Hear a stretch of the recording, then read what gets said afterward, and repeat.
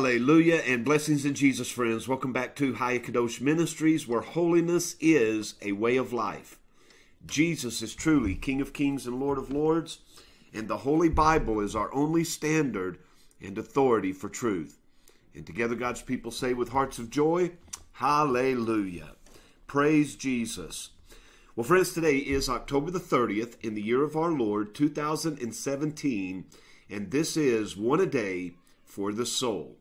Now, we have been doing a review in the life of Job through the book of Job, but I need to pause on this video today because the Lord has laid a burden upon my heart that needs to be addressed. You see, the heart of this ministry is about holiness as a lifestyle, a way of life. And holiness means to keep oneself pure. It comes from the Hebrew word which simply means to live a separated life, separated from the world that we live in. Now, if you will go in your mind back to the days of Jesus, you will see a time where there was no electricity, there was no technology, and there were none of the things that we have available to us today. And so often in this ministry, we try to point those things out and they may come across wrong or misunderstood. And so, allow me to pose it to you in a couple of different examples. When we think of separating ourselves from the world, what do we think of? Well, we must think about the things that the world offers unto us. Many of these things come as forms of pleasure. Now, again, the things we have available to us today, they didn't have back then.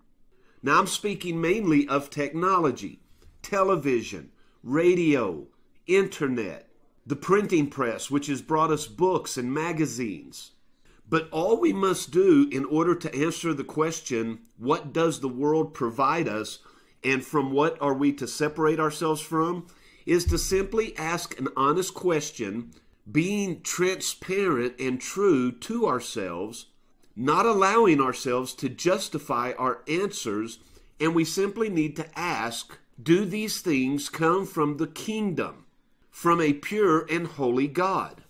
Does alcohol, drugs, pornography, gambling, rock and roll, country, rap, do you think, I mean, can you honestly answer that these things come from the kingdom of a pure and holy God? Of course not. Yet many of us battle every day with these things because we like them, we enjoy them. And so we find the burden too hard to bear to separate ourselves from those things. But Jesus never said that it would be easy. He simply said that He would help us bear that burden. And the Bible is so clear in James chapter 4, verse 4, we are told that anyone who loves attaches themselves finds entertainment and enjoyment from these things is an enemy of God. That is the plain truth, friend. And yet, so many think that they can live these lifestyles and still receive the blessing and joy that comes with knowing God. And yet, the Bible says if you partake in such things, you are his enemy. Jesus said we must take up our cross. A cross is a heavy thing to bear, friends. It wasn't easy for him, and it won't be easy for you. But how much are you committed in your relationship with him and to your allegiance unto him? Because your actions speak louder than words. Now, the second thing that I'd like to point out this morning is that when a question is posed unto me, either by a viewer or someone that I'm working with and counseling with, even locally, in the place that I live, I always as should you and any good follower of the Lord Jesus Christ refer to the holy word of God. And so any answer I give is going to come from the word of God, not my opinion, not my experiences, but only the holy inspired word of God. Now, what does that tell us? That simply tells us this all the answers to the questions that we have are found in the Bible. And so to say what I mean to mean what I say and to say it without being mean, this is the crux of the matter. Many people would not be enduring the hardships that they're enduring, speaking specifically of the confusion that they live in each and every day of their lives. They would surely not have many of the unanswered questions if they would only read their Bibles. Because if we, as teachers of the Bible, refer to the Bible to answer all of life's questions, then everyone who has a question about the Bible, they would receive answers if they would only read their Bibles. Now, as we are approaching the end of October, moving into the month of November, this would be a great time for you to start if you're not doing that. And as I've told you in the past, if you will read five chapters of the Bible a day, you will read the entire New Testament every month. And you cannot imagine how this will change your life.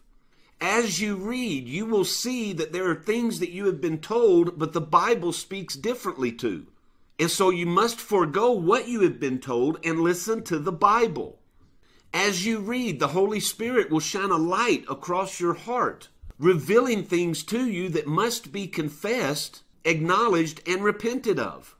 As you read, you will see the bar being set very high that you are to strive to reach. And you will be given wisdom and strength to reach that mark. And as you read and obey what you read, you will see your life transformed from the inside out by the Almighty. And so, friends, I cannot encourage you enough. I cannot emphasize enough the importance of reading God's Word every single day of your life. I mean, let me ask you this question. We're approaching the end of the year 2017. Have you read the New Testament in its entirety one time this year? Why not? How many movies have you watched? How much music have you listened to?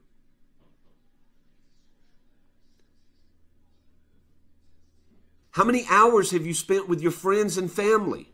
Jesus said, Man doesn't live by bread alone, but by every word that proceeds out of the mouth of God.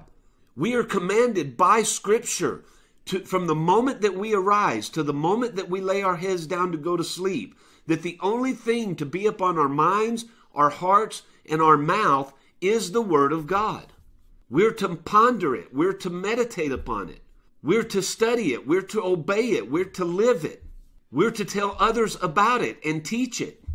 Our minds are not to be upon the weather, sports, politics, or what the latest news is in Hollywood.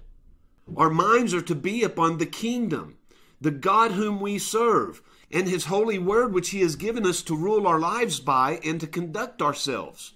You see, friends, there are so many that are playing games with God. You might be one of them. But the Bible tells us in Revelation chapter 3 that there is a danger in being lukewarm, not in being cold, in absolute rebellion and rejection to the God that we serve, and not being hot, absolutely on fire for Jesus, but the danger comes in being lukewarm. And did you know that the Bible says that that makes God sick? That he literally wants to vomit you out of his mouth? And yet, the message being taught by many today is that God loves you in the condition that you're in.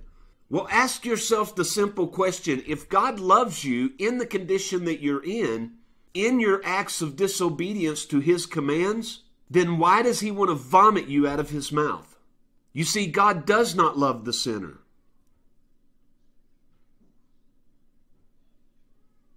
God offers his love unto the sinner, he offers his forgiveness unto the sinner. But the sinner must come in obedience and surrender in order to receive that love, in order to receive that forgiveness. So it's time that we stop deceiving ourselves, lying to ourselves, thinking that we're okay when we're not. It's time that we get serious with God. We get back to repentance. We get back to confession. We get back to transparency and we allow the Almighty to do the work in us that He so longs to do. So, friends, when you face life's many temptations, ask yourself the simple question Does this come from the hand of God? And if you were to be honest with yourself, most of the things that we allow into our lives, we would have to answer no.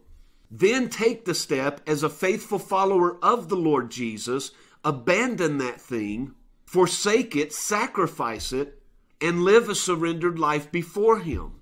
And last but not least, spend every moment of your day in the things of God. Read your Bible, study your Bible, listen to good truth, good teaching, not things that cater to your ear and that bring you joy in what you hear, but search out teachers that are not afraid to rebuke you, to chasten you, to challenge you.